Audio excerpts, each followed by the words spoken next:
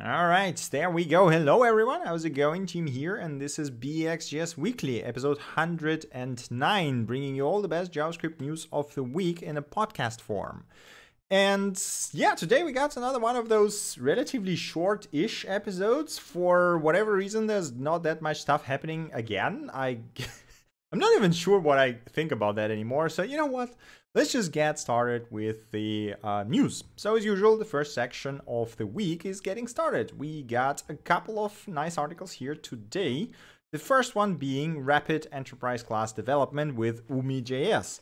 If I remember correctly, I actually covered Umi.js on BXJS Weekly, I don't know, half a year ago or something. It was looking very rough uh, back at the time, but it seems like it's shaping up quite nicely.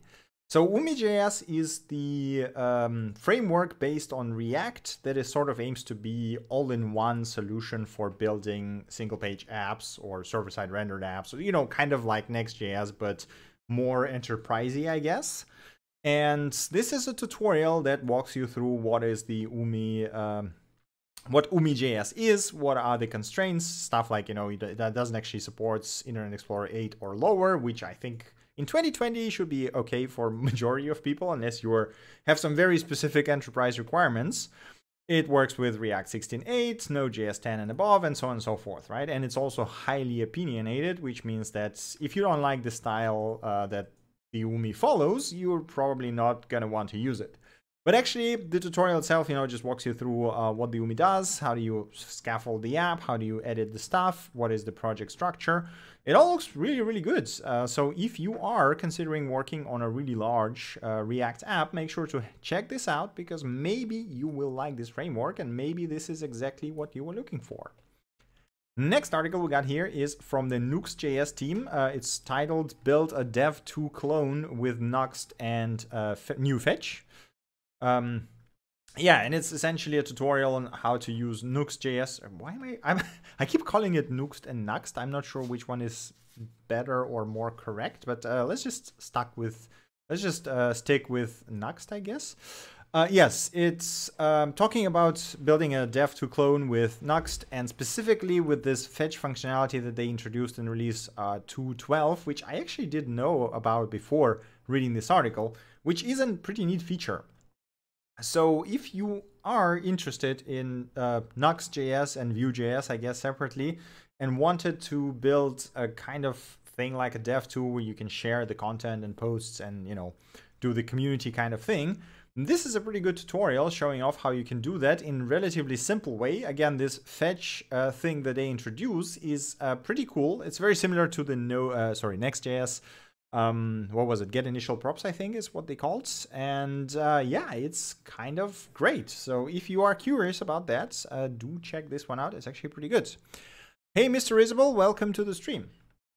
All right, continuing, we got a new article from Addy Osmani called Profiling React.js Performance. So this is a really good write-up, as usually happens uh, from uh, Mr. Osmani, on profiling the React apps using variety of techniques, starting from you know the React Profiler API that is well integrated into React DevTools basically, and going down to actually using the timing APIs, going down to using the DevTools, Puppeteer, and so on and so forth. So there is a bunch of tricks here. Um, um, a lot of them are not really React specific, well, aside from the React profiler, obviously. But it's a really good write-up showing off how to do that and uh, how do you actually get started with this, how do you figure out what are the, you know, the bottlenecks and things like this. So if you are uh, profiling React app and want to make it faster, then this is a really good place to start. Uh, hey Shubham, welcome to the stream. All right, continuing, we got a really fancy article. Like, I just love the way it's built. It probably took ages to do it so nicely. but it's it's really great. Um, so it's called creating a gauge in React.js. And uh, you can click the title to change the view of the background, which is awesome. I think it's the like procedurally generated, which makes it even even nicer. And the article itself, well, it talks about creating gauges for React, using React, right? So using SVGs and stuff like this. And what I want to highlight is the way that it's built, basically. So the explanation actually follows the code you have on the right side, I think it's uh, being cut a bit over here, so let me just uh, allow all JavaScript here. So the explanation follows and dynamically highlights the pieces of code that you see on the right side, and you immediately see the results that is basically being developed right here, and you can dynamically play with it, which is, first of all, it's an absolutely awesome way of um, serving tutorials, let's say. But second of all, I just it like it's it's. Just, I'm just trying to figure out how much effort was it to build something like this because it's absolutely awesome, but I imagine it wasn't easy to do. Anyway, if you are interested in a really, really, really good tutorials, then uh, do check this one out. It's like, it's amazing. Someone suggested an awesome play. Uh, someone suggests an awesome player library. Player for what? Uh, I can suggest some player libraries, but I need to know more specifics uh, for that. Meanwhile, um, let us continue. The last article we got in Getting Started section is using Tailwind CSS with React Create. Uh, sorry, Create React App. So if you ever used Tailwind, uh, you know that it basically relies on PostCSS for processing. And if you ever used Create React App, you know it's also based on PostCSS uh, preprocessor, but it actually is not so trivial to connect one to another for whatever reason. I think there's been a few issues in the Create React App repo that basically try to simplify the whole thing and expose the post CSS that Create React App uses, so that it's easier to do that. But yeah, it's a bit of a pain in ass. And this tutorial essentially guides you through the way you do that. And if you never try to do that, what you do is essentially installing the uh, Tailwind CLI and using the Tailwind build command with the custom post CSS config that would pre-build the styles before you actually build the app itself, which is quite a bit annoying, but uh, it seems like this is the only way of doing it without ejecting and actually, you know, taking the full control of the uh, post CSS config because there's no way to patch it, which is a bit annoying and hopefully will get resolved soon enough. But if you want to set it up now, do check out the article. It is actually quite a good tutorial. Right, uh, that is it for getting started section. We got uh, literally only one news article today, uh, but it's a pretty good one. So it's from the GitHub engineering team, and it's titled From 48k lines of code to 10, the story of GitHub's JavaScript SDK. And it's a really cool write up on evolution of GitHub's JavaScript SDK, which is the OctoKit uh, slash whatever. They have like a bunch of packages in there. And this looks at what it was in the beginning and how it evolved. What was the architecture? What did they change over time? How did they simplify it? How did they throw out some things, replace the others, and made it a lot simpler? If you never used it, by the way, the SDK itself is actually really, really good and really easy to use. So uh, it's uh, pretty cool. If you are curious about the evolution of the SDK itself, I would highly recommend reading the article. It's not exactly that long. Uh, there's some technical details, but it's really interesting to see this sort of, you know, change and, and how it evolved over time with the, well, evolution of JavaScript as well. Uh, so yeah, there we go. Um, hey, Lizards, Lizards, Lizards team. okay, that is really hard to read, goddammit. Hey, Lizards team, welcome to this stream. Okay, Charlie, uh, video and maybe audio. I want good community support and also different uh, frameworks. Uh, good audio and video player. Well, I would actually pick two different ones because, I mean, you could probably use something like Video.js, right? So this, I believe it should play um, both video and audio. And it does have a large community and there's like a hundreds of plugins and, uh, well, a bunch of pretty big websites use it. So maybe this is what you want. I believe you can do it audio only. Um, customize. Let's see. Skinning, plugins, Video.js plugins. It probably has like an audio plugin or whatever. And no audio. Wave Surfer. Yeah, so there you go. There's even like waveform transformation plugins, whatever. Yeah, so Video.js is likely the best choice you have if you need both. Um, otherwise, I think there was a couple more, but they're probably not even close to being as big as the Video.js itself. Anyway, uh, let us continue with the news. Next section we have, as usual, is tips, tricks, and bit-sized awesomeness. And we got a few things here that are pretty cool. The first one being this uh, look into the Next.js version 9.3, which I believe is coming out soon-ish. That allows you to write uh, SQL queries right in your React components. which is, um, yeah, so the tweet is titled, Who Needs GraphQL When You Can Write SQL?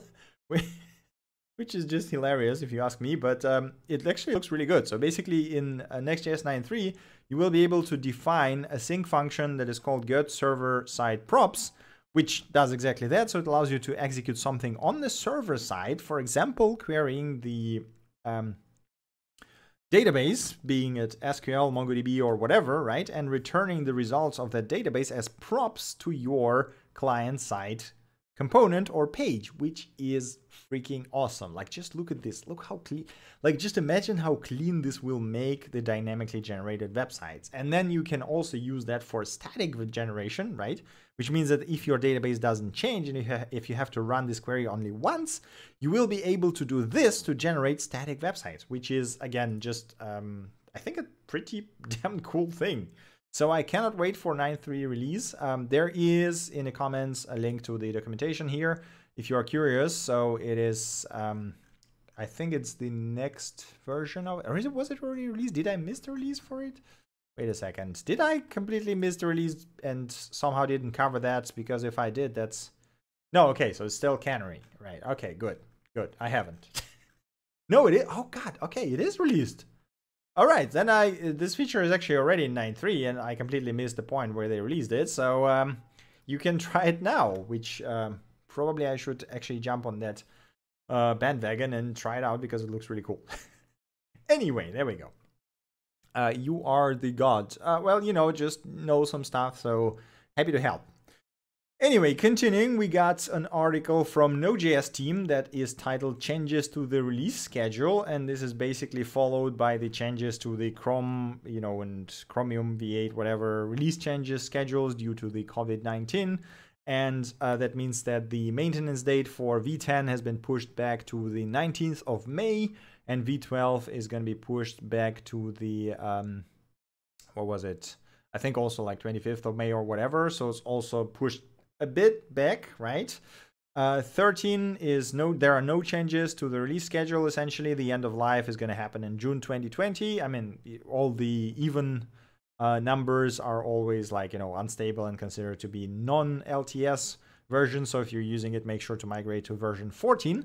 And there's no changes to version 14 schedules, and the version 14 should be um, released on 21st April, so like in a couple of weeks, basically, less than that, uh, with uh, it entering LTS in October this year, at least if everything goes as planned. So there we go. I personally cannot wait for the version 14 because it's going to include optional chaining, which is, uh, I've been using a lot of it lately in the Create React App project we have. And oh man, it makes things so much easier. I just cannot wait for this thing to be in Node natively. So there we go. All right, the next announcement we got here is from the Spider Monkey team from the Firefox guys, and uh, they just implemented the WebAssembly multi-value proposal in uh, implemented and enabled by default in Firefox Nightly. If you remember, we talked about that proposal, I think half a year ago, if not more. So it's been like around for quite some time. The idea is that currently, if you use WebAssembly modules, they only return one value, right? Which means that if you want to build something that returns multiple values, you have to essentially invent your own format for that, which is annoying because then you have to create JavaScript wrappers that deserialize that format, and it all makes it harder uh, for something like, say, WASI, right, which allows you to do the uh, straight import and uh, use of the WebAssembly modules.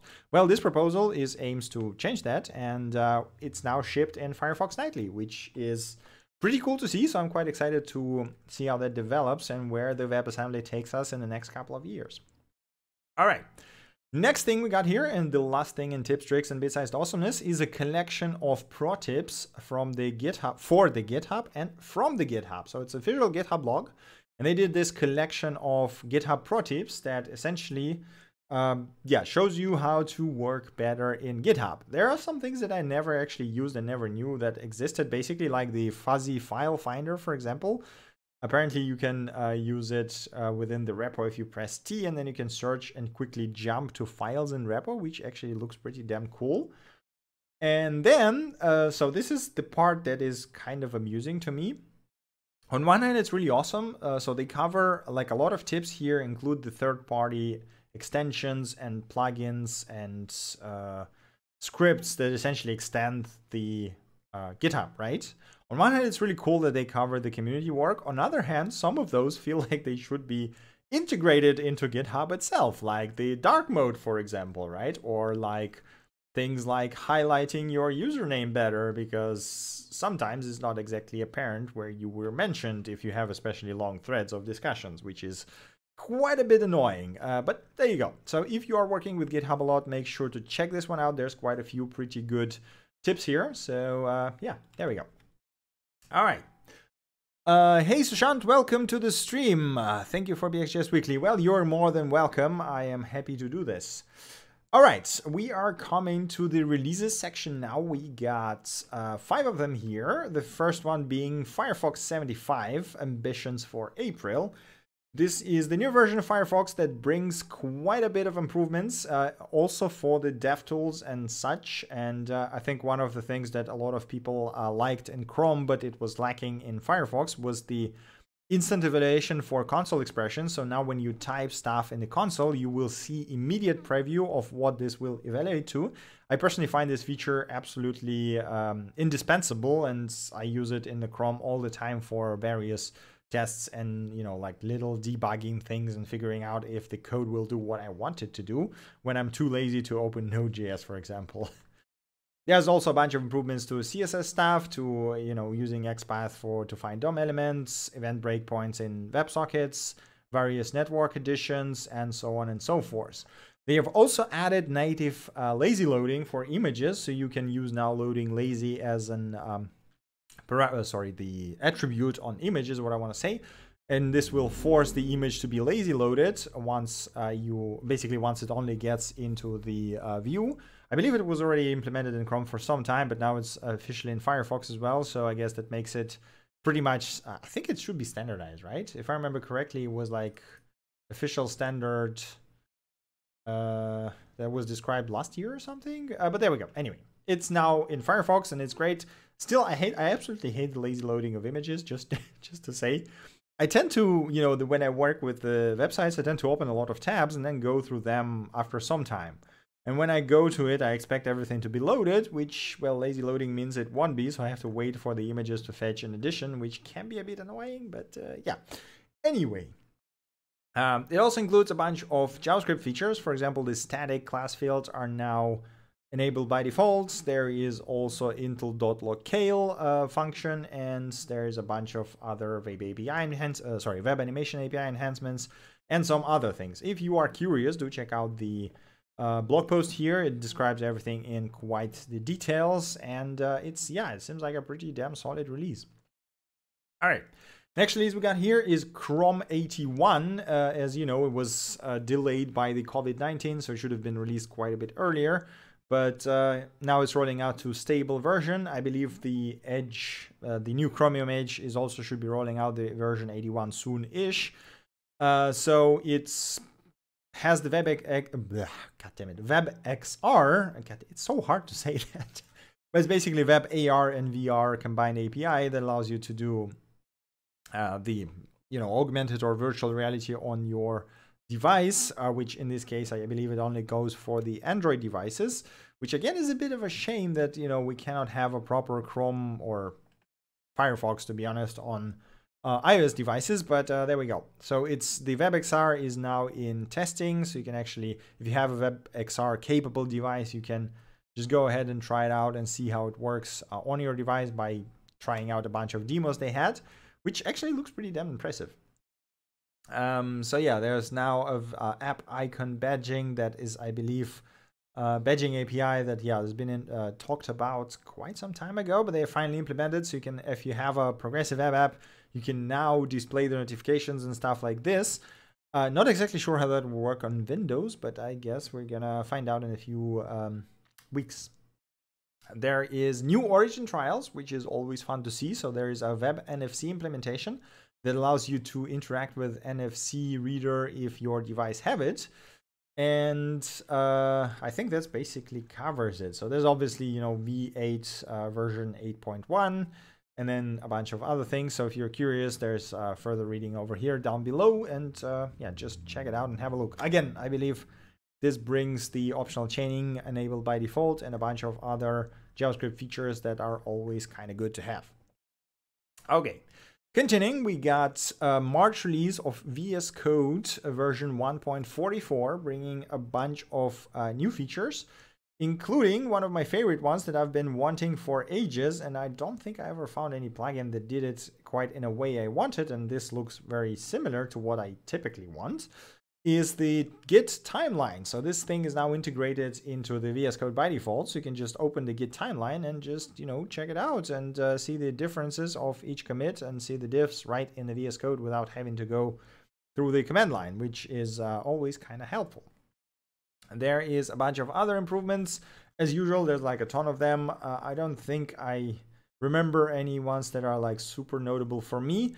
So there is the settings sync that is still preview, that is still just in the insiders code uh, version.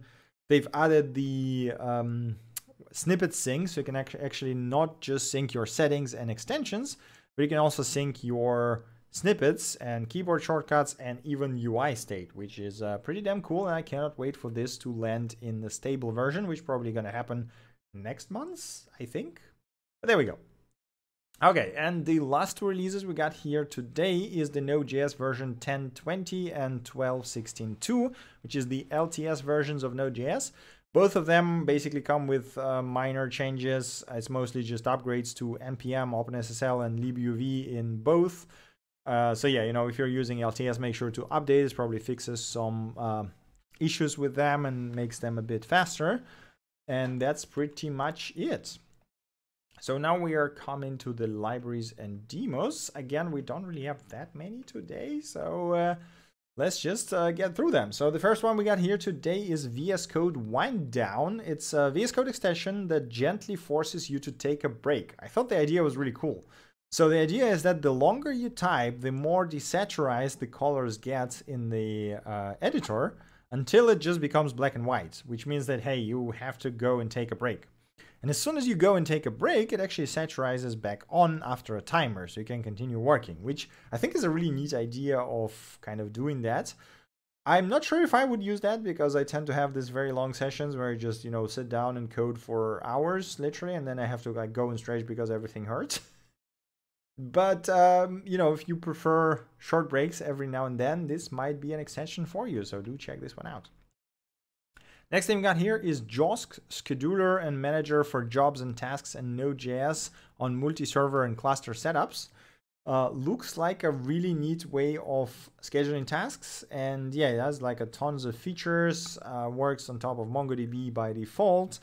So if you need some scheduling and uh, managing for jobs on multi-server setups, then do check this one out. It looks pretty damn nice. Uh, that's basically all I have to say. right, continuing, we got CSS render, generating CSS using JS with considerable flexibility and extensibility, both server-side and client-side.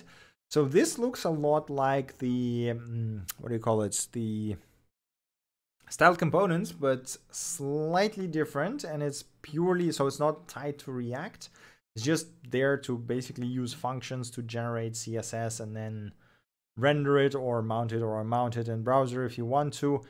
Uh, it also supports the the whole BEM thing uh, via plugin. I, again, this is you know not something I personally use. Not sure if I would use that, uh, but maybe you know why you would need that plugin. I mean, you know, it was created, so there's definitely some use case. But as a person that is quite far away from the whole CSS world and just uses Tailwind to get by, I have no idea why would you need that. But there you go. Continuing, we got hyperstatic routing, pre-rendering, and code splitting for HyperApp. So HyperApp is that uh, framework that's you know kind of the um, there's supposed to be a link somewhere. Wait a second. So HyperApp is the, uh, no, that's not the one. There is the best way. No, that's not it either. Um, Hyper App, was it this one? Yes, there we go. So it's a tiny framework for building interfaces similar to Preact, I guess, if you would say, but it doesn't have any JSX or anything like that. It's purely function based. It's very small. It's it's you know has a pretty nice API. Even without JSX, it's quite easy to write. And this hyperstatic is essentially a attempt on doing the Gatsby-like thing, but using Hyper App instead of React. So if that sounds interesting, do check it out. It actually looks quite neat. All right. Continuing, we got Rosetta from Luke Edwards, a general purpose internationalization library in 292 bytes. Super tiny as usual, super fast, and uh, very straightforward API. So, you know, if you are still not decided on Intl API and you wanted something that is small and nice and fast, and all the previous libraries for some reason didn't quite fit your taste, do check this one out. Maybe this is exactly what you wanted. Okay, next thing we got here is React See-Through. Draw attention to the important parts of your website. Essentially is this uh, thing that, where do I click? There is an example somewhere. No, this is the dark mode. I guess this is the docs. Essentially what it does is, you know, blacks out everything else on the page aside from some specific elements, which is a very simple thing to do, but sometimes can be a bit annoying um, on uh, doing that yourself. Where is, I remember seeing example somewhere. Oh, there we go. Yes, this is exactly what it does. So it's super straightforward and on click anywhere, it essentially deselects it. So if you ever needed something like this, do check this one out. All right, next thing we got here is Chocolat. The Lightbox So Cool Horses Use It. That's I absolutely love the slogan. But yes, it's a Lightbox plugin that is, I believe, pure JavaScript, so it doesn't actually use any frameworks, but you can use it with, well, just about anything because it's just plain JavaScript. Really has only ES6 promise as dependency, which is the polyfill. I'm not sure why would it be included as a direct dependency, but uh, there we go. Uh, and uh, yeah, so it's like, you know, Lightbox, what, what do you want? It's it's a Lightbox and it's a pretty good one.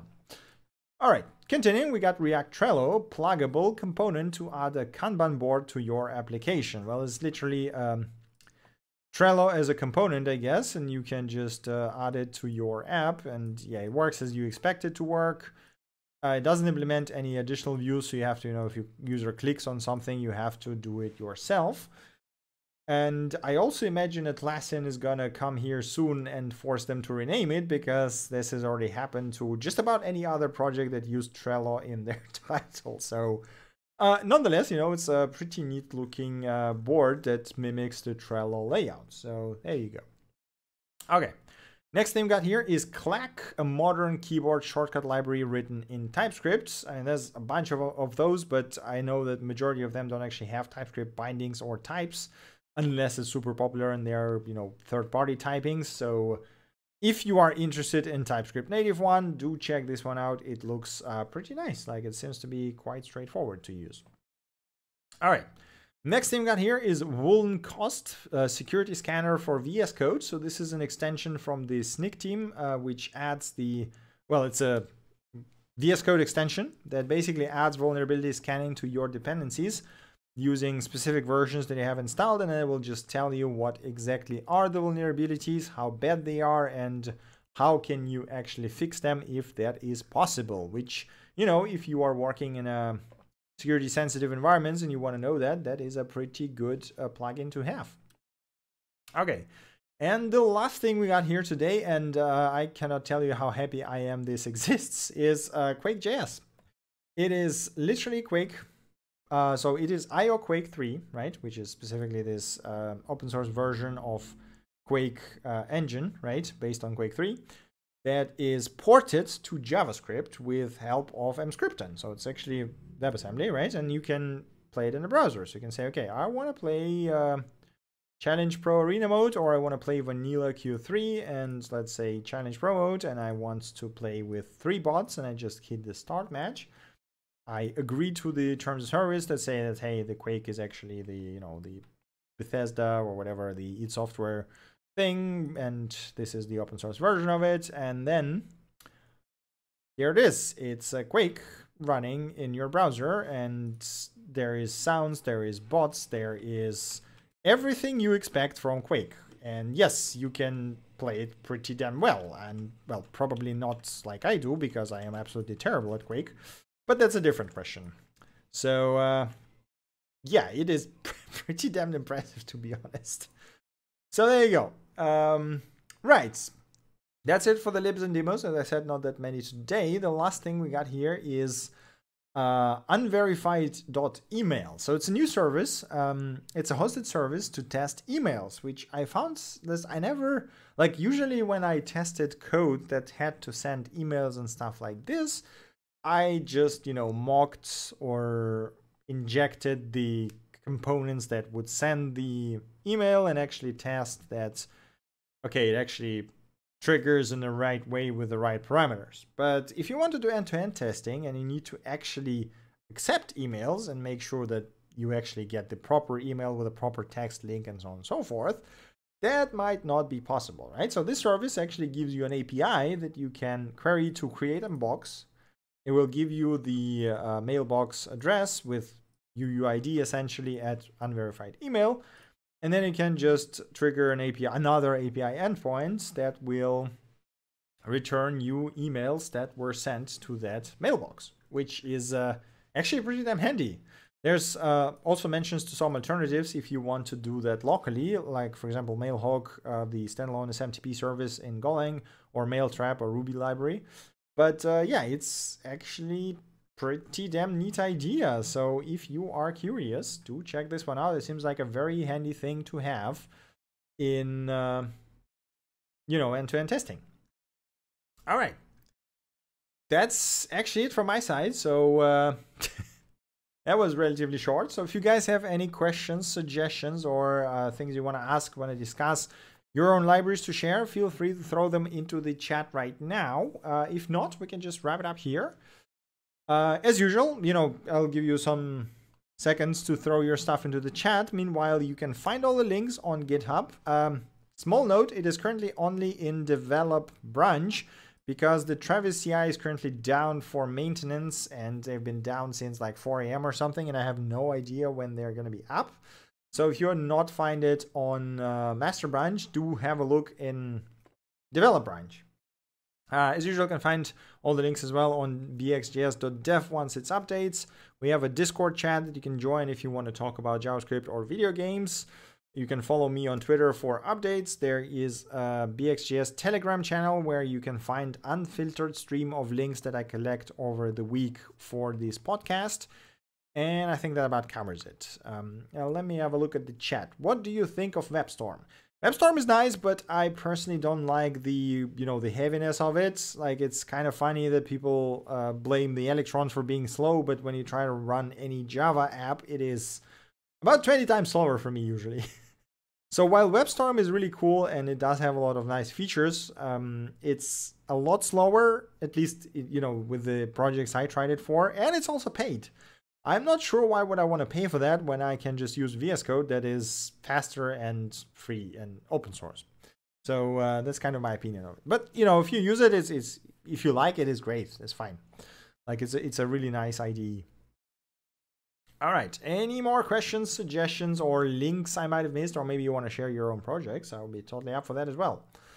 If not, then we can just wrap it up here for today and go enjoy our weekends and Easter holidays if you have those in your country. And uh, then we're going to have a development stream on Wednesday. And uh, yeah.